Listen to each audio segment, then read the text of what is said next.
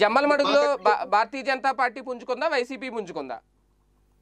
YCP sir? Jammalamadugu కాదు. ప్రతి నియోజకవర్గంలో ఈరోజు వైసీపీ వాళ్ళ ఒక్క నియోజకవర్గం చెప్పానండి.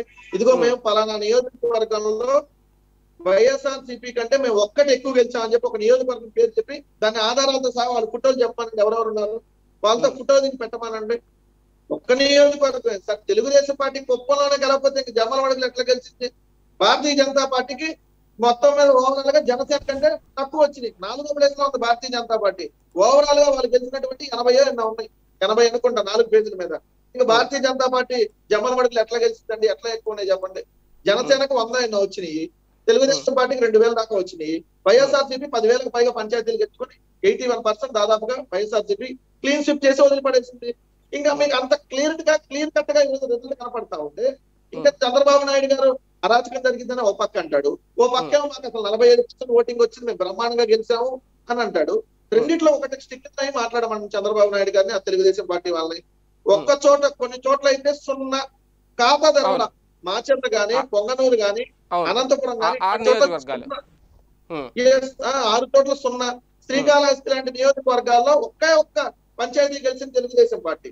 కంప్లీట్గా వైఎస్ఆర్ సిపి ఇప్పుడు మా వేపూర్ లాంటి నియోజకవర్గాల్లో కూడా ఈ రోజు ఎనభై తొమ్మిది పంచాయతీలకు గాను అరవై ఎనిమిది పంచాయతీల్ని ఈ రోజు వైఎస్ఆర్ సిపి కైవసం చేసుకుంది. కేవలం పదహారు పంచాయతీలు మాత్రమే తెలుగుదేశం పార్టీ కైవసం చేసుకుంది.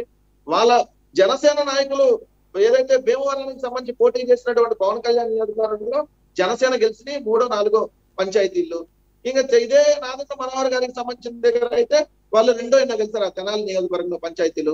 చంద్రబాబు నాయుడు గారి దగ్గర పట్టుమని పదిహేను పంచాయతీలు గెలవలేదు. హిందూపురంలో పట్టుమని పది పంచాయతీలకు వెళ్ళారు నాలుగు ఐదు గెలిచారు. ఇంకా వాళ్ళు ఏందండి ఎక్కడ తెలుగుదేశం పార్టీ చెప్పండి. నేను ముందే చెప్పాను మీకు. సార్ మా నాయకుడు ప్రమాణ స్వీకారం రోజే చెప్పాడు. మనం అంతకుముందు కూడా మాట్లాడుకున్నాం. మేము కులం చూడడం మతం చూడడం పార్టీ చూడడం ప్రాంతం చూడడం రాజకీయాలు అప్లైట్ చూడడం వివక్ష లేనటువంటి ఒక పారదర్శకమైన పాలన మేము అందిస్తాం. ఆరు నెలల నుంచి సంవత్సరంలో మంచి ముఖ్యమంత్రిగా నేను పేరు తెచ్చుకుంటానని చెప్పి ఏదైతే జగన్మోహన్ రెడ్డి గారు చెప్పారో ఈ ఇరవై నెలల్లో అది చేసి చూపించారు కాబట్టి జగన్మోహన్ రెడ్డి గారు మద్దతు ఇచ్చారా లేదా? జగన్మోహన్ రెడ్డి గారు మద్దతు ఇస్తే చాలు వైఎస్ఆర్ సిపి మద్దతు చాలు. ఆ పోటీ చేసేటటువంటి అభ్యర్థి కులం చూడలేదు అభ్యర్థి మతం చూడలేదు ఆ అభ్యర్థి అంతకుముందు రాజకీయాలు చేశాడా చూడలేదు రేపొద్దున రాజకీయాలు చేస్తాడని కూడా చూడలేదు.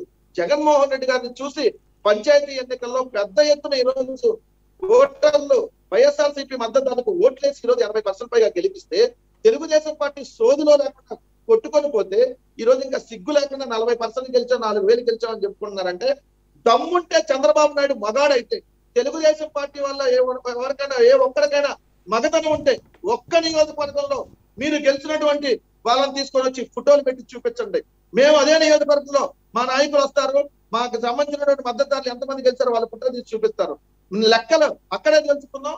డైరెక్ట్గా పీడీ టీవీ తీసుకొని లైవ్లో వెళ్దాం. మీ తెలుగుదేశం పార్టీ వాళ్ళకి మగతనం ఉంటే సిగ్గు సెలవు ఉంటే ఓపెన్గా డిబేట్కి రండి. ఓపెన్గా ఆ నియోజకవర్గం మేమే వస్తాం మా మద్దతుదారులు ఉంటారు మీరు ఎంతమంది గెలిచారో తీసుకురండి. లెక్క అక్కడే సరిపోయింది మీకు అక్కడే ప్రజలు కూడా అదే ప్రజల సమక్షంలో మీకు బుద్ధి చెప్పడానికి కూడా రెడీగా ఉంటారు ప్రజలు. ఇంకా మీకు తప్పుదో పట్టించేటువంటి కార్యక్రమం చేస్తే అదే మీడియాను కూడా అన్ని మీడియా సంస్థలు తీసుకెళ్దాం. మీడియానే మీ పార్టీ వాళ్ళని బట్టలు కుదిసిద్ది దానికి మీరు సిద్ధంగా ఉన్నారని చెప్పి నేను సూటిగా అడుగుతున్నా. ఏదో ఏదైనా తెలుగుదేశం పార్టీ నాయకుడిని తీసుకోండి మీరైనా లైవ్లోకి వాళ్ళు ఛాలెంజ్ స్వీకరిస్తానంటే నేను ఇప్పుడు రావడానికి రెడీగా ఉన్నా.